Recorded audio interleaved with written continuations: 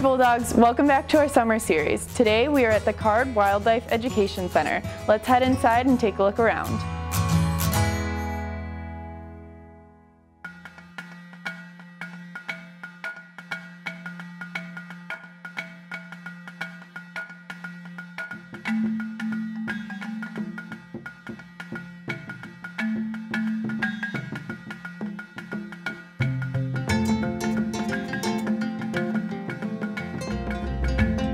Wildlife specimens in the Card Wildlife Education Center were donated by Ferris alum Roger Card and his late wife Deborah.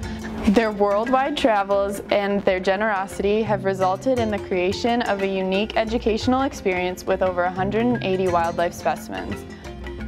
The primary function of the Center and Wildlife Museum is to serve as an educational resource for Ferris's college students, K-12 school children, and members of the Michigan community.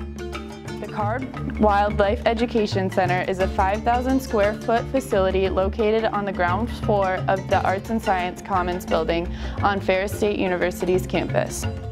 Summer hours vary from regular hours, so please take the time to call before you visit to confirm that the museum is open.